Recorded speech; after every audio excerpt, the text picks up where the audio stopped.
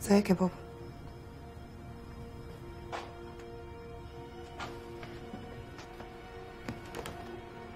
وكمان بتشيلها الشنطة. ده بدل ما تضربها قلمين على خلقتها. خش انت أوضتي دلوقتي. تعالي هنا رايحة فين؟ كفاية دليل بلاش فضايح. فضايح إيه؟ أكتر من فضيحة هروبها اوعى! إيه اللي رجعك يا عروسة؟ ردي عليا يا بنت. بعدها لك بقى قلت كفاية بقى كفاية. انت بترفع صوتك عليا أنا يا هارون؟ لكن ما بترفعوش عليها طبعا. ما هي الملاك اللي نازل من السما يا شيخة حرام عليكي بقى. حرمت عليكي عيشتك يا بنت. هقول لك رجعت ليه؟ عشان ابنك. ابني اللي بان اللي انت عمالة تمضغيها طول الوقت. ما هو موسى ده السبب في كل حاجة.